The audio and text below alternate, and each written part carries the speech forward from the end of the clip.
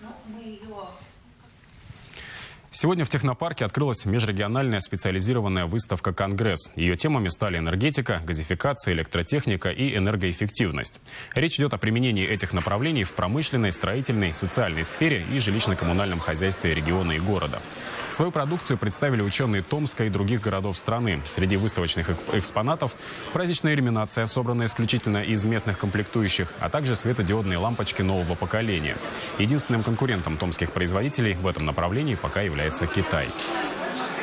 Особенностью данного 17-го конгресса является его именно практическая направленность. То есть помимо э, просто выставки и представления экспозиции пройдет научно-практическая конференция и четыре круглых стола, связанных с энергосбережением и с э, энергоэффективностью разной направленности, включая малоэтажное строительство, включая, гази- э, включая газификацию.